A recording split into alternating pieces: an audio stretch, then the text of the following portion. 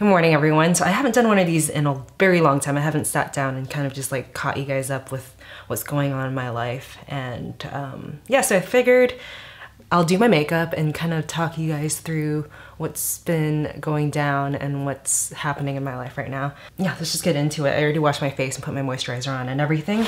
So what's new with me? Um, I'm moving. So back there in my apartment in Long Beach, um, it's just full of boxes. Most of my furniture's already moved out.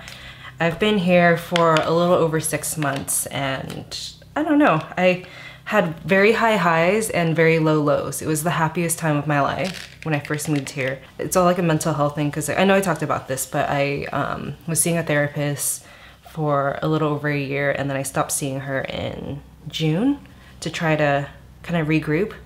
And I've been doing all these other things like meditating and writing and reading a ton. And um, I don't know, I wrote a list of things to do to cope with sadness or I wouldn't even call it depression because I, I don't think it's depression because to me it doesn't seem so severe. It seems like something that I can control and kind of help myself. It's been a journey. Like when I first moved, I was so happy and I always had people over and I was constantly around all my friends and um, I don't know, I always wanted people to come over and cook for them. And I was doing brunch like every weekend, making a huge brunch for like 30, 40 people every weekend. And it was so much fun. And that's when I did like the 30 days of vlogging. Um, when I turned 30, I was just super happy. And then after that, um, it kind of tapered off and then I hit a severe low and I just did not want to go out, didn't want to talk to anyone. I had three panic attacks at the end of June through uh, July when I was traveling. Oh, right before I was traveling, I had my first one. It was insane. And I remember when it happened, I um, it was like the first time I ran in a really long time.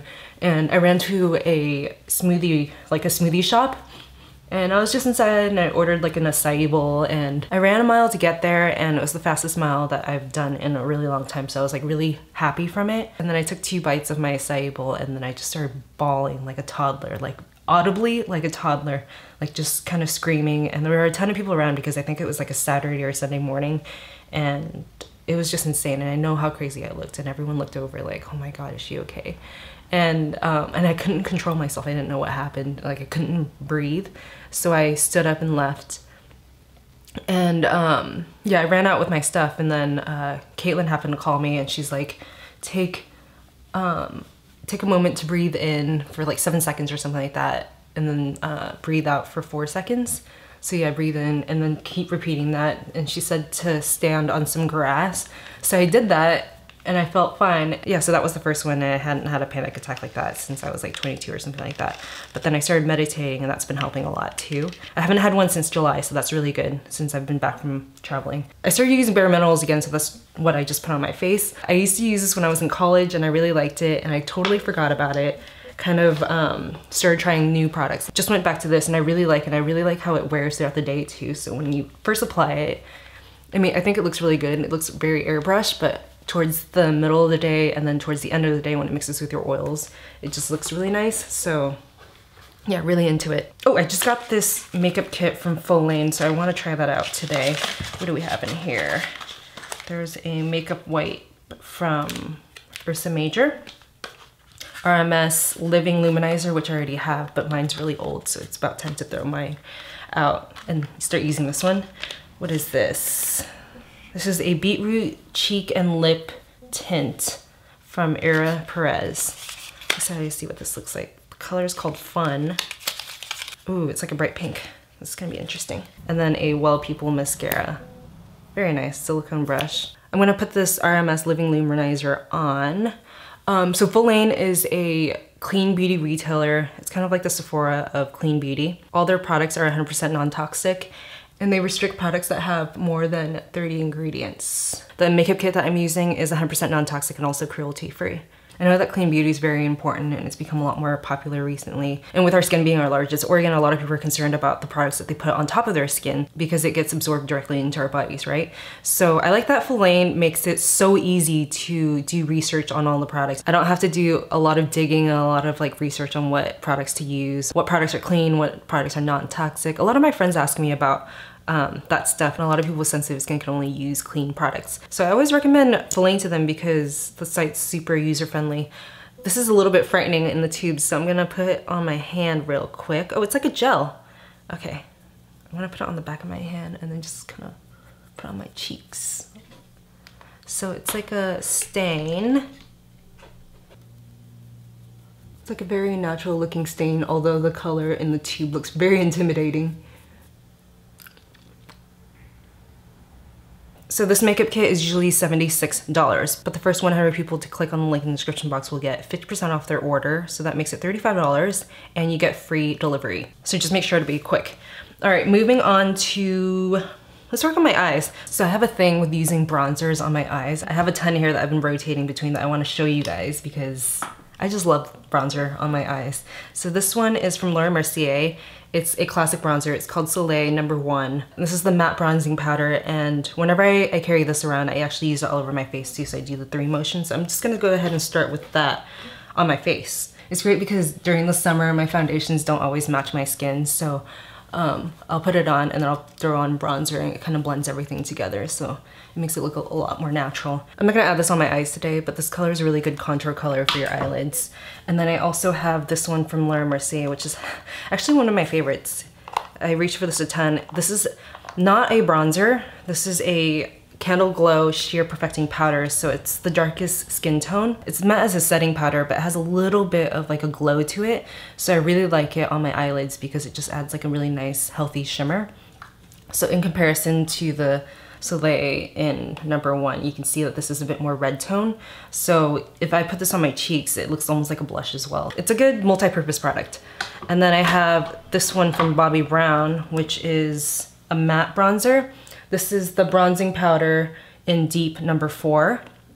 So it's a bit more red than the Laura Mercier one. And I actually like putting this on my cheeks too to use almost like a blush slash bronzer. And then the last bronzer that I've been using as an eyeshadow is this one from Make and it's in the color Taos. Very similar to the Bobbi Brown one, but it's a bit more orange. I really like this as an eyeshadow and it applies and just stays on all day and I think it looks so beautiful. This as an actual bronzer it grabs a bit too much on my skin, so um, I have to be very careful and light-handed with it. On a lazy day, if I don't want to use a brush, I'll just use this Glossier Generation G in the color Leo, and it's like a brown color.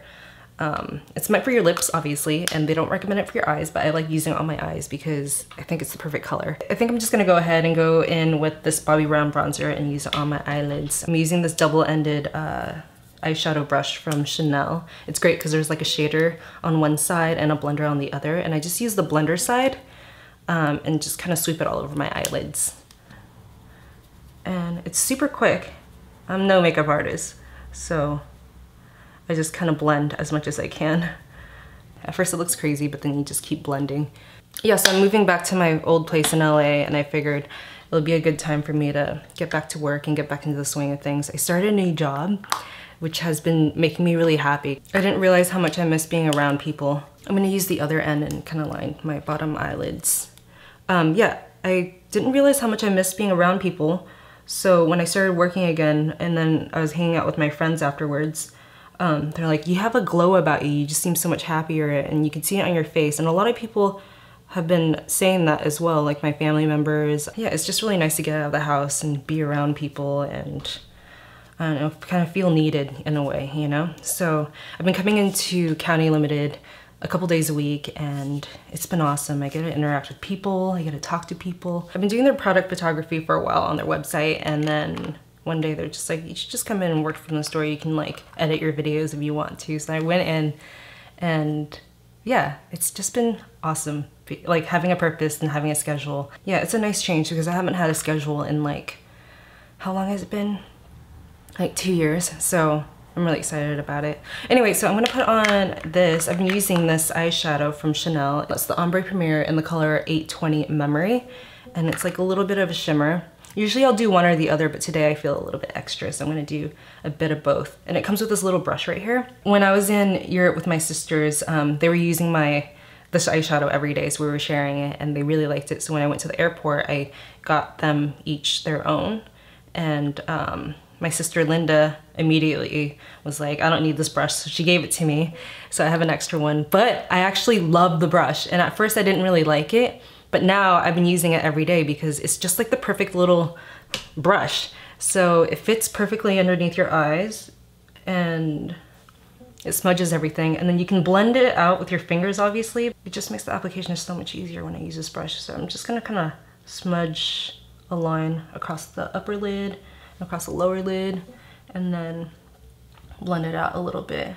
Okay, so my question for you guys is, what do you guys do um, to check your mental health? Like, what do you do to make sure that you're okay? And if you feel kind of like anxiety ridden or down about something, like, what do you do to combat that? Um, a lot of people have been asking me about it because I go through so many waves, you know? And I really don't know what to say because I don't know. I think it changes for everyone. It changes for me on a day-to-day -day basis. Like I always have music on. I mean, right now I'm filming, so I don't. But usually if I don't have music on, I just feel like I'm in an empty vacuum and it's really sad and depressing. So I always try to have music on. I write down everything. I always have my phone on me, so I write down everything I feel, everything that comes to mind. Yeah, I write every day and I used to um, carry a journal around everywhere I went when I was younger. So it just seems natural to write in my phone, you know? Um, I don't always share it, sometimes I do. I was sharing it for like a good month or so and then it just kind of got grim towards the end of it so I figured I'll just keep that to myself. And maybe when things start looking up again, then I'll start sharing things again. I think writing really helps. Reading also really helps too. Also, I know this seems so stupid, but there are so many funny memes on Instagram. There's so many like funny videos out there and whenever I watch those, it just makes me feel better. I've been watching a lot of chick flicks as well. Netflix has been killing it. Just in general, they've been killing it. They have so much good content right now. I really like this brush because it's like a silicone brush, which is what I prefer. This is the Dipbrow Pomade. It's like a cult classic, right? I have the color Ash Brown. I've had it for a couple years now.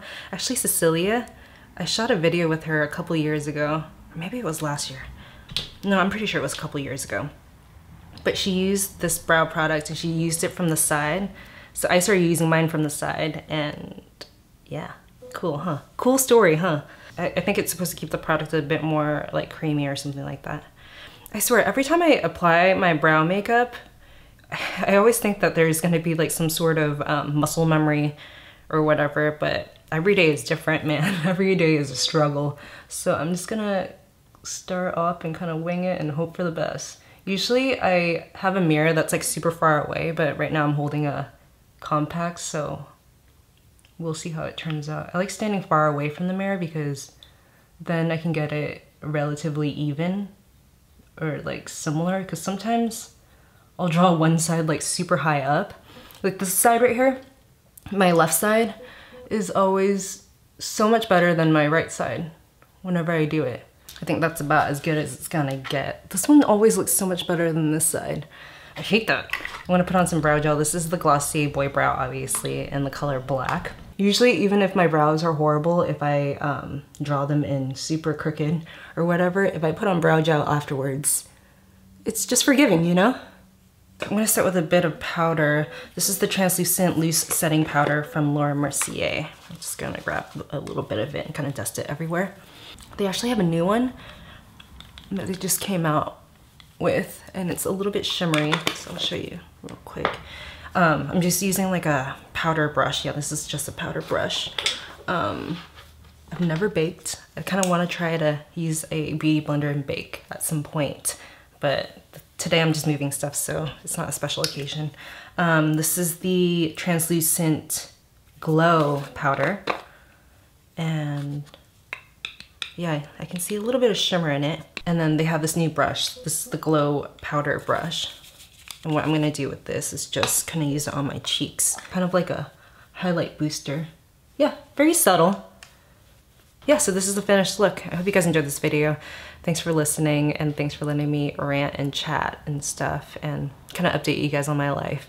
Um, if you guys have any questions about anything, leave a comment down below and I'll get back to you as soon as I see it. Everyone who wrote notes to me, um, wrote emails and um, wrote Instagram notes and stuff and messages Thank you so much for the constant support and just for checking in. Things have been turning, so I've been a lot more positive and I've just had a much more positive outlook on life, you know what I mean? But also I know that there's always, you know, ups and downs. So there's always gonna be a time where I don't feel so great and times where I feel great. And I really appreciate you guys for sticking with me. So um, yeah, thank you so much. All right, I'm gonna get back to moving, so I'll see you guys in my next video. Bye.